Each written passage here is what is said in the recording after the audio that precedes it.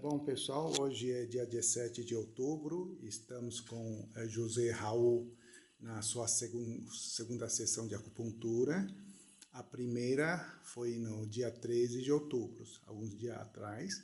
Tá? Então, vamos pedir para ele falar para mim porque ele chegou aqui e depois de uma sessão, o que, que ele sentiu de diferença. Pois ela, hoje ele aproveitou, trouxe a esposa para fazer também o tratamento. Pode falar um pouquinho para nosso público como que foi quando você chegou aqui no dia 13? É, eu estava com, assim, bastante zumbido, aquele barulho muito grande, irritante. E após essa sessão eu já me senti bem melhor, ela já oscilou bastante, baixou, aumentou, baixou, então eu já senti que já começou a funcionar, né? Então acho que vai ser bom, estou acreditando. Ok. Tá, então o problema do José Raul principalmente foi o zumbido.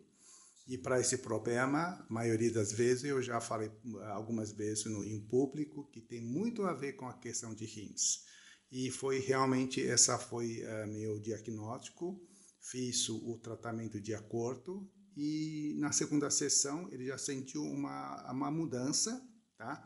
É, logicamente, não é uma sessão que vai resolver todas essas coisas, então vamos continuar acompanhando para saber né, como que está indo, tá? se esse problema que tanta gente fala, parece que é impossível de resolver, que na verdade na acupuntura é bastante efetivo.